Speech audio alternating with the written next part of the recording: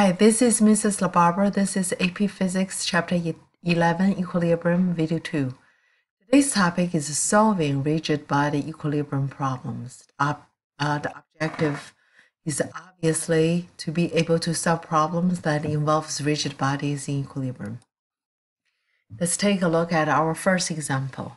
An Auto magazine reports that a certain sports car has 53% of its weight on front wheels and 47% on its rear wheels, with 2.46 meters wheelbase. This means the total normal force on the front wheel is 0.53 W, and that on the rear wheels is 0.47 W, where W is the total weight. The wheelbase is the distance between the front and rear axles. How far in front of the rear axle is the car's center of gravity? So this is L, center of gravity. What is this? So that's a talk about conditions for equilibrium is net force equals to zero. So we already know 0.47 W plus 0.53 W, that should be equals to W.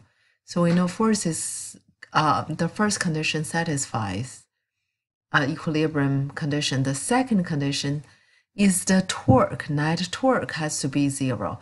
When we talk to when we talk about torque, we have to talk about a point. This means it doesn't really which point do you you can choose. You can choose any point that's convenient for you. So for the because we are trying to find LCG, so the point I would like to choose is this point at the uh, rear axle. This is the point, right? here is my y-axis.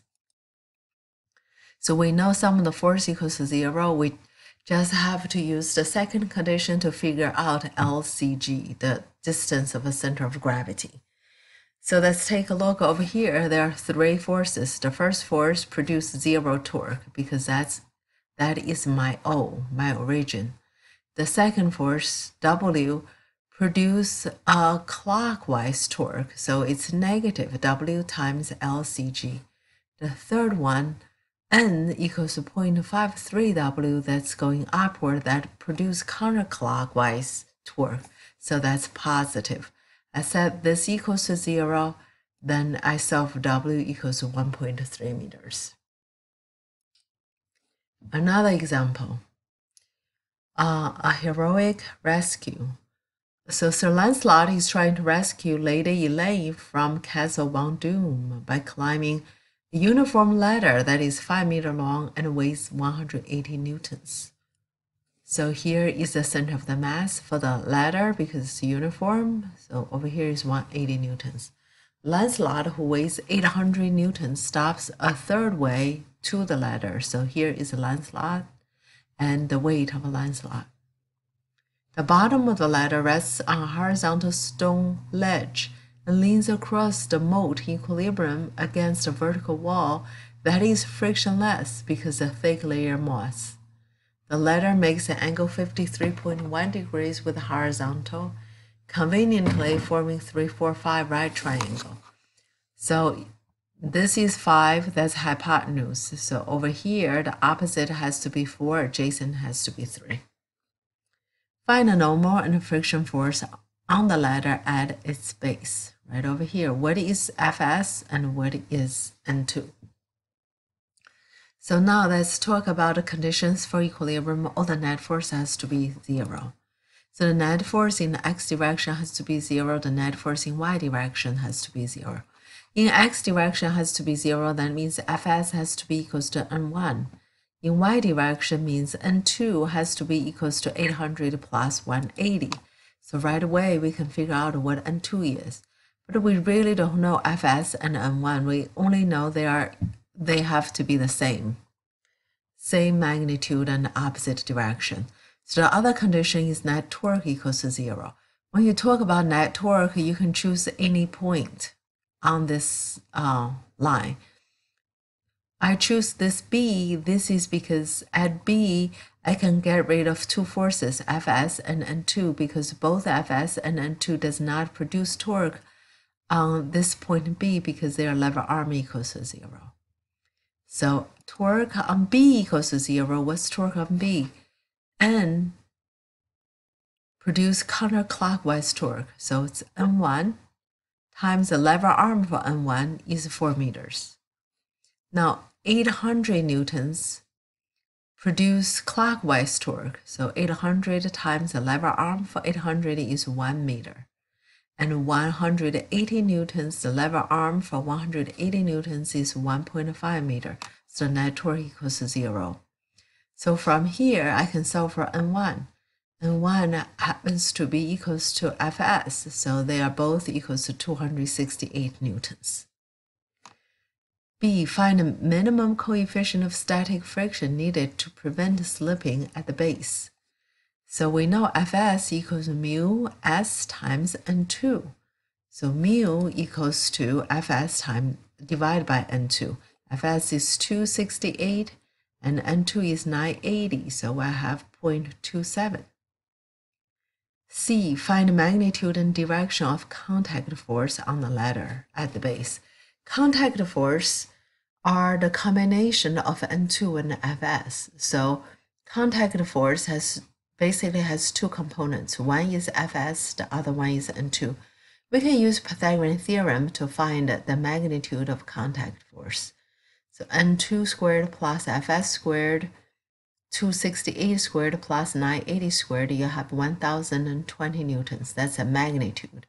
To find the direction, we have to use inverse tan of opposite over adjacent, which gives us about 75 degrees. So this is where N2, that, I mean, this is FB, that's a contact force at that point. Another example, equilibrium and a pumping iron. So the figure shows a horizontal human arm. So this is just a free body diagram is showing here.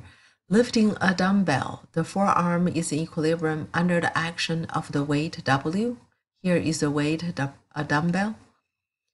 The tension T in the tendon connected to the bicep muscle. Here is the tension that's on the tendon and the force E exerted on the forearm by the upper arm at elbow joint. So there is E right here. So for, for clarity, the point A where the tendon is attached is drawn further away from the elbow. So this, this point should be a little bit closer to E, but just for clarity, it's drawn over here. It's a little bit far. The weight W of the dumbbell and the angle theta between the tendon, the tension force, and the horizontal are given. So theta is given and W is given. We want to find the tendon tension. What is T? And what are the two components of force at elbow? So what is EX and EY? We can neglect the uh, weight of the forearm itself. So we pretend that there is no weight for the forearm. So basically, there are three scalar quantities in O, EX, EY, and T. Now let's talk about the conditions for equilibrium. Let's talk about torque. Uh, torque equals to zero. So which point should we use torque? Should we set to be zero? I choose this point E because at this point I can get rid of two, two variables, EX and EY. So the torque, since Tx does not produce any torque, because TS, Tx passes through this point, there is no lever arm. So only Ty and W produce torque. W produce positive torque and Ty produce negative torque. So torque E equals to zero, W times L, the weight force times the length, lever arm minus ty equals t sine theta times the lever arm, which is d. That should be equals to zero. That's how I find t. t equals to w times l divided by d times sine theta. So first variable is um, found. The second condition is the force. Force in the x direction has to be zero. So that means tx has to be equals to ex ex tx equals to t cosine theta, and t equals to wl divided by d sine theta times this quantity times cosine theta. That gives you wl divided by d times cotangent theta. And what is the direction of EX? This EX should be to pointing to the left, opposite of your TX. The other condition is the force in the y direction equals to zero. Now in the y direction, we have W, we have TY, and we also have EY. So we don't really know the direction EY, but we just assume possibly it's upward. So we use TY plus EY should be equal to W. So W equals to T. TY is T sine theta plus EY that equals to W. From here, we can solve for EY. EY equals to W minus T sine theta. That equals to W minus T equals to W L divided by D sine theta. We multiply sine theta on this side. So it's W minus W times L over D. Now let's take a look at this diagram. L is this, from the dumbbell to the elbow, and D is from tendon to the elbow. Obviously, L is bigger than D. What does this mean? This means EY actually is pointing downward, pointing downward. We don't know the sign of this component, so we draw it positive for convenience.